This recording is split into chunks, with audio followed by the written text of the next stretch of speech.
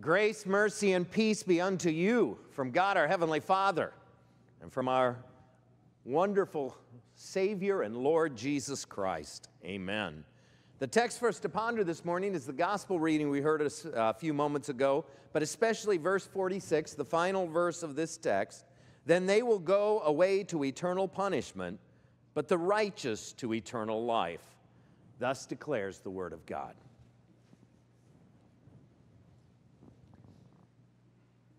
One of the popular beliefs in uh, religious thinking here in the United States today is what is called universalism. This is the idea that there is no such place as hell, and that ultimately everyone just automatically winds up in heaven. This is the notion that it doesn't matter what you believe. You can believe anything you want, just be sincere in your beliefs. And this view tends to teach that all religions are equally good because we're all going to the same place anyway. Now, this is exactly how a lot of people feel today, and because they feel that way, they don't really have to stop and think about their own relationship with God.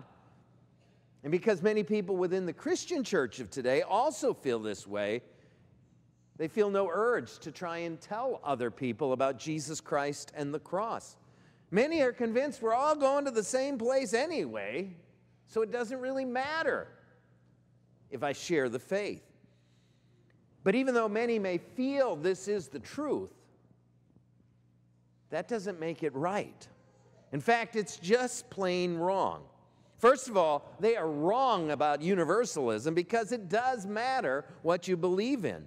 People can be very sincere and yet still totally wrong. Once a house caught on fire, quickly the fire department responded and started to put out the blaze. However, the woman of the house could not be comforted and finally was able to blurt out what was wrong. My, my baby daughter is still in there.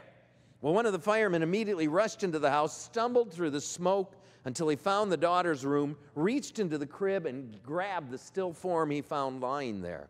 He then rushed out of the house and out onto the sidewalk just as the roof of the house collapsed. And all was thought to be well until the mother screamed, That's not my baby, it's her doll. Now, I want you to know this fireman did everything he could. He did the best possible job he could have done. He was as sincere and dedicated as anyone could be, yet he'd also been wrong. He thought he grabbed the baby, when he grabbed a doll instead. You see, sincerity alone was not enough to save. And sincerity alone will never be enough to save. For it's not just a matter of being sincere, it's a matter of believing the truth, of knowing the truth. You must believe the right thing. And that's certainly true when it comes to eternity. It's not enough to be sincere about your beliefs, you got to believe the right thing, the truth, the truth of God. And this, a second reason why this idea of universalism is all just plain wrong is because obviously there is a hell. When you look at the words of Jesus, the service, our text for today, it's perfectly clear that there is a hell. Jesus says then, when people die, some will go to heaven and some will go to hell. He says we're not all going to the same place. He says some will go to eternal punishment, verse 46, and some will go to eternal life. Unfortunately, my friends, hell is very real, and unfortunately, some will spend eternity there. And what a terrible fate that is indeed. I mean, look at our text. Hell is described in our text as a place of eternal fire and eternal punishment. And elsewhere in Scripture, hell is described as a place of torment and agony, a place where there's weeping and gnashing of teeth, as a place where the worm does not die and the fire is not quenched. Hell is so terrible that when the rich man was condemned there, he immediately begged Jesus, I have five brothers, warn them, lest they also come to this place of torment. Unfortunately, my friends, hell is a real place, and it is terrible and it's no place for any human to ever be.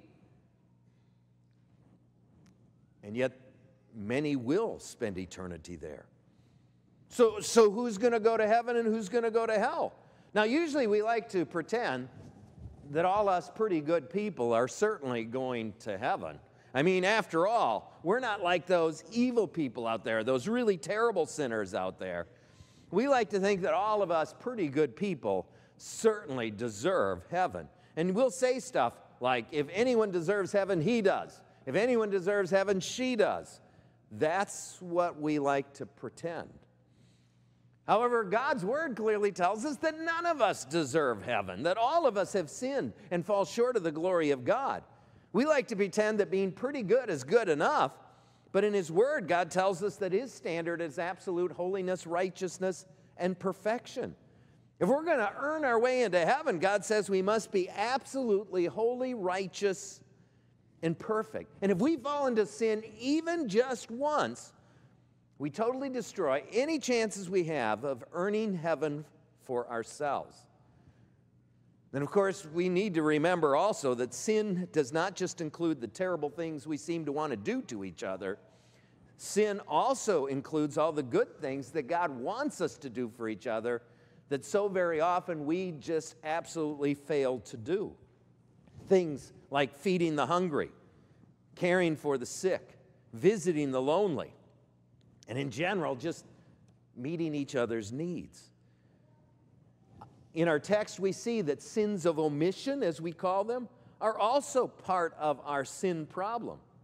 We are sinning when we neglect those in need around us. And the scriptures tell us if we only sin once, whether sin of commission or sin of omission, our chances of deserving salvation are already gone. Now, most of us are a little bit blind when it comes to noticing our own sin, but I don't think any of us are so blind to our own reality that we would honestly claim that we've never had a problem with sin ever, ever in our lives. All of us can think of some of the horrible things we did that hurt other people, and some of the times we passed by someone in need rather than getting involved. So the truth becomes obvious we don't deserve heaven. In fact, we deserve just the opposite. But, and that's where the good news comes in. The good news is that God continues to love us. And He wants us to spend eternity with Him in heaven in spite of all our sin. And of course, that's exactly why Jesus was sent into our world. Jesus came into this world to go through death and hell for us as our substitute so that our penalties could be paid for by someone else and we could escape the fate that we truly deserve. Christ gave up his life for us on the cross so that we could have life, real life, abundant life, life that never ends, life with God. Jesus died so that we could live. Once during World War II, a prisoner escaped from cell block 14 of a Nazi prisoner of war camp. Because of this, all the other prisoners being held in that cell block were ordered to stand at attention, while 10 of the prisoners were chosen to be starved to death as a punishment for the fact that no one notified the guards of the man's intentions. Well, among those chosen to be starved to death was a man called Francis Gajowniczek. When he was selected, he fell to his knees and began to sob and said, my poor wife and children, what will become of them? Well, upon hearing this, another prisoner immediately stepped forward and asked to take the place of Francis. Now, the commander just stared at this man for a second in unbelief that anyone would volunteer to die as a substitute for someone else. But then eventually he asked, Well, who are you? And the man replied, I am a Catholic priest. I have no wife or children. Well, this man's wish was granted, and the Catholic priest was starved to death instead of this man, Francis, who had that wife and children. This Catholic priest then was put to death so that the other man could live. And that, my friends, is exactly what Jesus did for us. He volunteered to take our place. He volunteered to receive our punishment. He volunteered to die our death for us. He stepped forward and has to be put to death on the cross in our place so that we could live, so that we could avoid death. He died our death for us. And you see, that's why we now have the chance to spend eternity in heaven instead of hell. The scriptures tell us plainly that all who look to Jesus Christ in faith will receive forgiveness and eternal life. Just listen to a few of the many promises God makes to us in this regard. Whoever believes in the Son has eternal life. Whoever believes in him is not condemned. Whoever believes in him shall not perish, but have eternal life.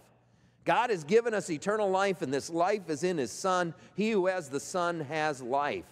The Bible makes it abundantly clear then that eternal life in heaven is guaranteed to all who look to Jesus Christ in faith, to all who believe that when Jesus died on his cross, he did so for all of us, for our sins. The Bible makes it clear that even though we don't deserve heaven at all, God gives it to us freely out of His love through His Son by faith alone. And we certainly can see all this in our text. For as the sheep are received into heaven, Christ specifically praises them for the good works which flowed from their faith. Now, you must keep in mind, it wasn't the good works that saved them, it was the faith in their hearts which produced those good works. For whenever we believe in Jesus Christ as our Savior, we are changed, transformed, so that we become more and more and more like Him. Faith inevitably then leads us to begin to care for other people. And good works are the evidence of the faith that lives inside, of faith in Jesus Christ. So that brings us to the big question which are you, sheep or goat? When you die, will you go to heaven or to eternal punishment? Think about it, because hell is real. And unfortunately, many will spend eternity there. Will you?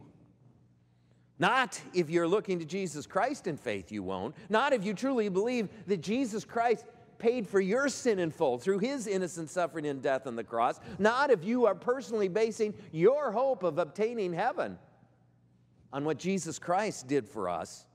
However, I do want you to remember that it's not enough just to be a church member. There are plenty of so called good church members whose destiny is still hell.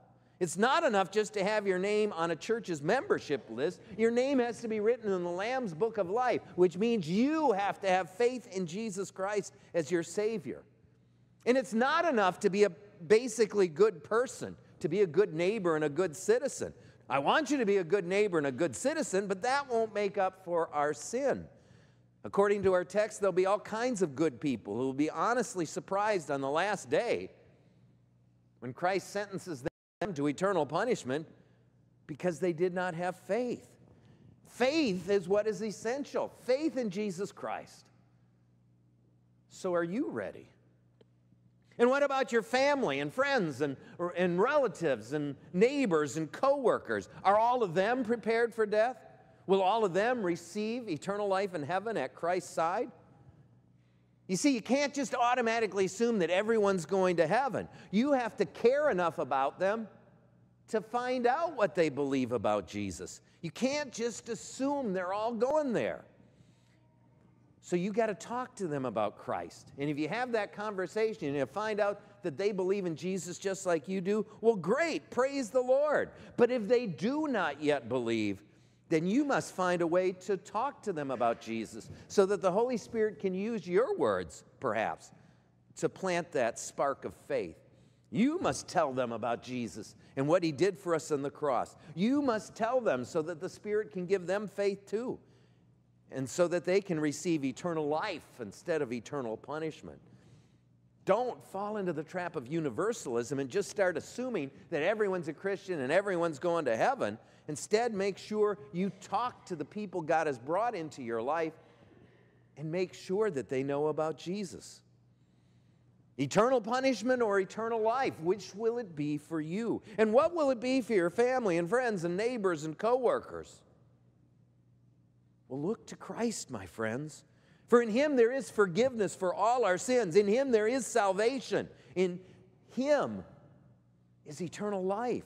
So look to him in faith. Look to him and be saved. Look to him and know that eternal life is yours. Look to him and point everyone else to him as well so that they too can have life in his name.